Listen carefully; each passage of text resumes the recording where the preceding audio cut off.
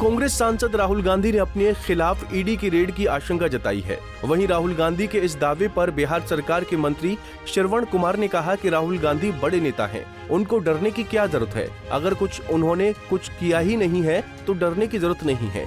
किसी भी व्यक्ति को सीबीआई हो ईडी हो, उसे डरने की ज़रूरत नहीं है। वहीं आरक्षण के मुद्दे पर श्रवण कुमार ने कहा कि अभी मामला सुप्रीम कोर्ट में है।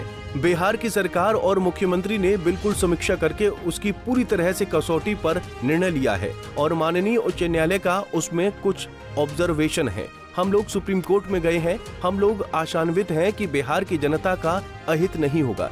अभी भी हमें न्यायालय पर भरोसा है, ठीक ढंग से काम हो।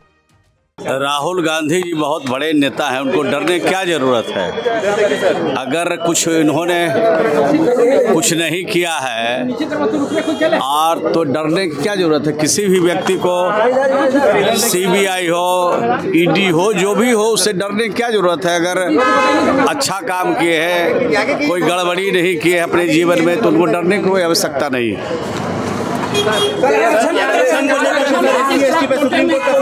बात की गई है सुप्रीम कोर्ट ने उसको लेकर के चिराग पासवान ने कहा है कि यह मंजूर नहीं है।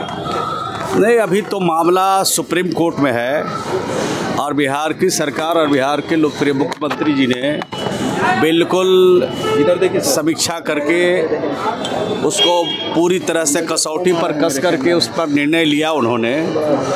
और माननीय उच्च न्यायालय का कुछ उसमें ऑब्जर्वेशन है उसको लेकर हम लोग सुप्रीम कोर्ट में गए हैं आसान्वित हैं कि बिहार की जनता का हित नहीं होगा।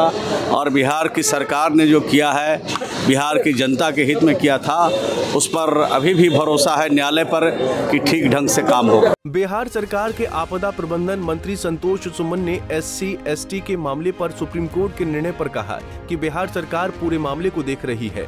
उन्होंने कहा कि हम लोग चाहते हैं कि एस सी का कोटा बढ़े। उन्होंने ये भी कहा कि निश्चित तौर पर हम लोग ये भी चाह रहे हैं कि आरक्षण बढ़ना चाहिए। माननीय न्यायालय का फैसला है ज़्यादा हम टिप्पणी नहीं करेंगे।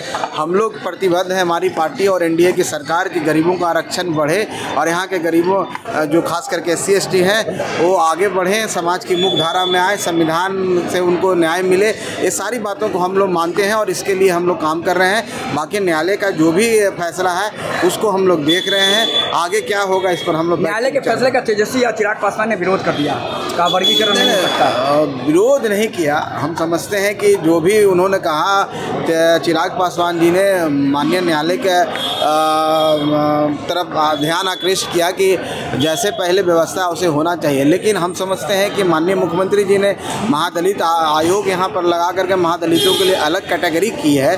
तो सब सब कैटेगरी का वही कुछ मामला है। लेकिन अभी ज़्यादा टिप्पणी हम लोग नहीं करेंगे। पूरी हम लोग उसको पढ़ लेते हैं उसके बाद हम लोग इस पर विचार वहीं आपदा को देखते हुए संतोष सुमन ने कहा कि हालात को देखते हुए सभी जिला अधिकारी को अलर्ट भेज दिया गया है। उन्होंने कहा कि सभी अधिकारियों को अलर्ट भेज दिया गया है और यहाँ तक कि जल संसाधन विभाग को भी अलर्ट भेजा गया है और आगे कहा गया है कि बिल्कुल अलर्ट रहें। पटना से अभिषेक कुमार सिंह की रिपोर्ट।